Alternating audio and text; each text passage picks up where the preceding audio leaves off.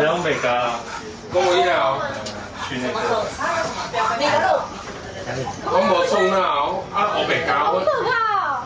林森检警大动作搜索舞厅，还出动缉毒犬，每个包间巡视，员工置物柜也不放过。没多久就看到大批工作人员五小姐被带走。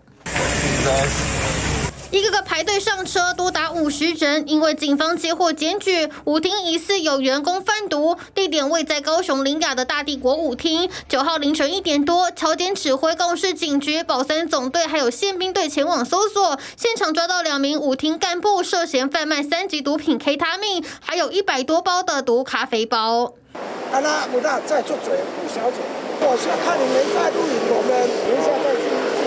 一样照常营业而已嘛。好，不清楚。所以现在没有接客人。有。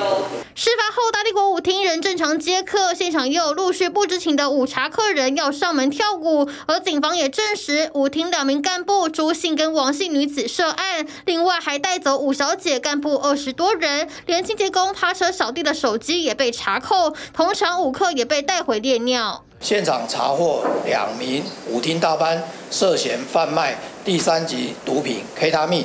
那检警另外将十二名男客、三十四名服务生、一名证人，总计四十九人带回验尿及侦办。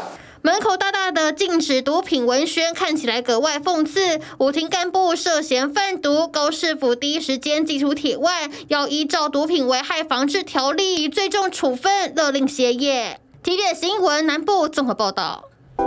想看最完整的新闻内容，记得下载 TVBS 新闻网 APP。